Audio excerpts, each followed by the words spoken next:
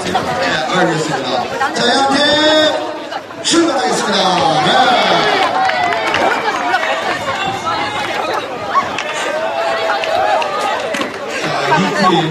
나 옆에서 빨리 보나요? 주목해 볼 필요가 있어요. 그렇습니다. 지난번 그 수영 커플 대회에서 우승을 했고, 바로 이 커플이거든요.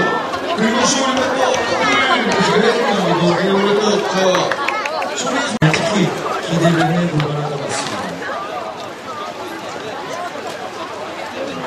無謀な空で街を見。